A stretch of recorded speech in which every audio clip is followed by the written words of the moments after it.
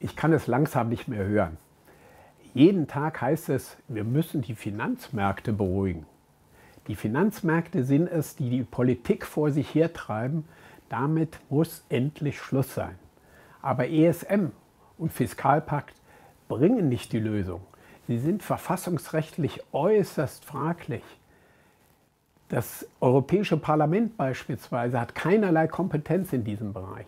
Sie sind nicht demokratisch kontrollierbar und kontrolliert. Und sie bringen keine Lösung des Problems.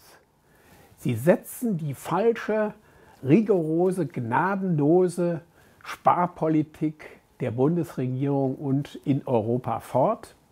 Dadurch werden große Teile der Bevölkerung in den Ländern des Südens, die betroffen sind, weiter verarmen. Sie haben praktisch kein Einkommen mehr und die Banken, die Finanzmärkte, die wir eigentlich zähmen wollen, die sind überhaupt nicht betroffen, sondern sie werden gefüttert mit unendlichen Milliarden an neuen Geldern, mit neuen Profitmöglichkeiten. Deshalb stimme ich weder Fiskalpakt noch dem ESM zu. Ich bin dagegen und überlege, und prüfe, ob ich selber deswegen auch zum Bundesverfassungsgericht gehe, um dagegen zu klagen.